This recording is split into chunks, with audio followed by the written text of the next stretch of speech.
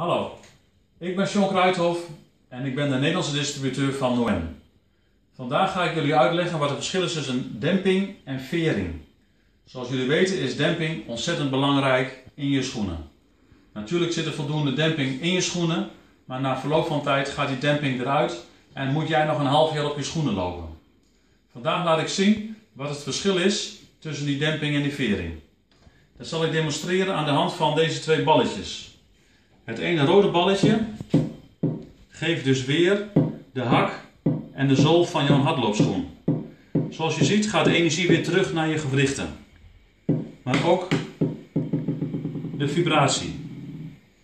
Het zooltje van Noen zorgt ervoor dat alle schokken en negatieve vibraties die vrijkomen tijdens het hardlopen of sporten, dat het verdeeld wordt over ons zooltje. Zodat het niet naar uw gewrichten gaat, zodat u geen slijtage kunt oplopen. We zullen even laten zien welke verschillende zolen er zijn, want heel veel fabrikanten zeggen dat ze dus schokdempende zolen hebben. Ik kom hier aan bij de Ironman. Die heeft dus een schokabsorberende zool. Er zit veel gel in, wat zacht is en wat zorgt voor instabiliteit. Is niet zo goed om daarop te sporten, want in de schoen zit ook nog gel en dan wordt die hele schoen instabiel. Nu komen we bij de Universal NO2 van Noen. Zoals je ziet gaan alle schokken naar het materiaal. We gaan naar de volgende fabrikant, de MySol, de Multisorb. De best schokdempende zool van MySol.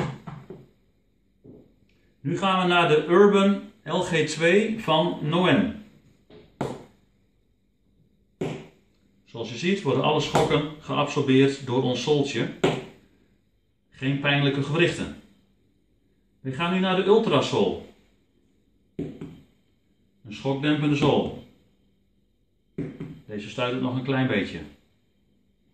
Nu gaan we naar de SOS1 van Noen, die zelfs 1 mm dun is.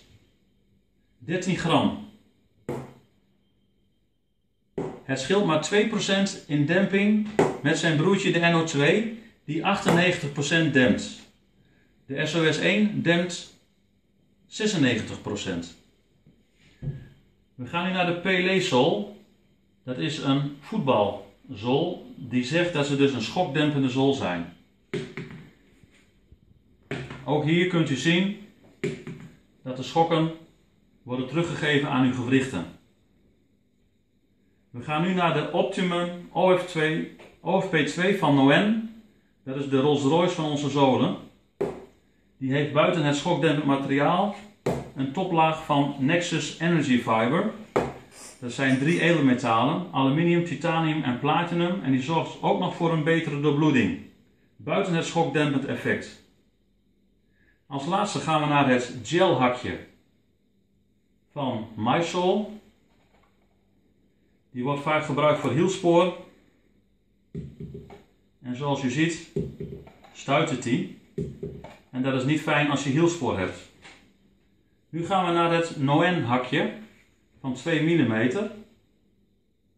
Eind deze maand zal deze vervangen worden door de 4 mm, waardoor ook de Achillespees wordt ontlast.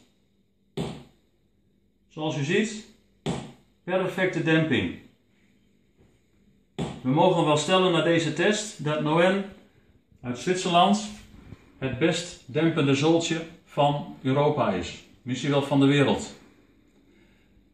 Mijn advies is, bescherm uw gewrichten, geniet lang van uw sport.